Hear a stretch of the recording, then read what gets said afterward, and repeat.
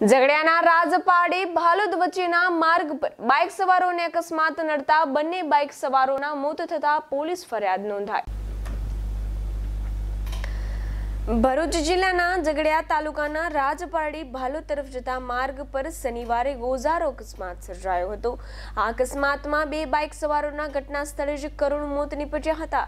ઘટના અંગે રાજપાડી પોલીસ સ્ટેશનના પોસ્ટ પીએસઆઈ આઈ રાઠોડને માહિતી મળતા તાકીદે સ્ટાફના જવાનો સાથે ઘટના સ્થળે પહોંચ્યા હતા અને બચાવ કાર્ય સહિત ટ્રાફિકનું સંચાલન કર્યું હતું. રાજપારડી પોલીસના સૂત્રોમાંથી પ્રાપ્ત વિગત મુજબ, શનિવારના રોજ ઓઘાભાઈ ઉકાભાઈ ડોળાશિયા ઉંમર વર્ષ સાઠ અને શિવાભાઈ છગનભાઈ ડોળાશિયા ઉંમર વર્ષ પંચાવન, બંને રહેવાસી ગામ જુનારપરા તાલુકો તળાજા જિલ્લો ભાવનગર બાઇક પર સવાર થઈને રાજપારડી તરફથી ભાલુદ તરફ જઈ રહ્યા હતા. તે દરમિયાન બાઇકની આગળ ચાલતી ટ્રકની ઓવરટેક કરવા જતા સામેથી બાઇક સાથે ભટકાતા અકસ્માત થયો હતો.